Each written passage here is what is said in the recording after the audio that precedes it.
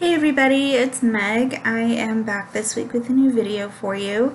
Um, this is day 7 of the 31 Days of Yuletide Tarot. Um, it's going to be done a little bit differently today uh, because I kind of planned my time a little bit more poorly than I normally would have and didn't get to scripting full-blown spreads.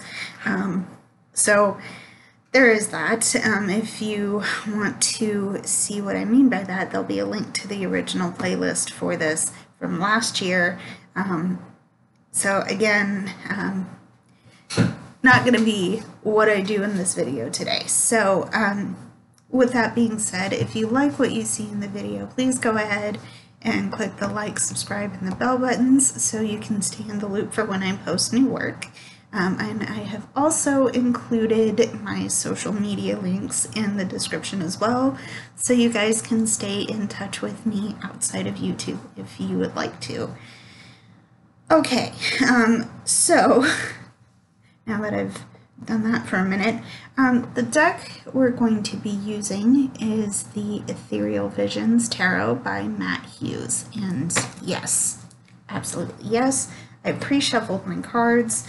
So we're just going to get right into the reading. And the card I'm going to pull is the world. And I like I like that this card is coming now.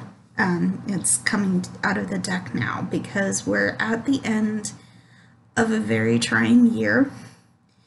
Um, we're seeing the end of all of you know, maybe you've been in a challenging situation that you didn't expect to experience, um, but it's it's ending. It's over. Um, it will you will see completion, and there is a sense of satisfaction to this ending because we've come through so much.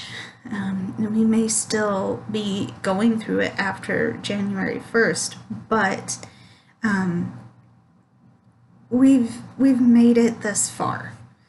And even though things like travel or seeing friends or going out and going out for a meal, um, even though those things have been severely curtailed, um, we've still seen we've still seen a lot of change and we've still seen a lot of um,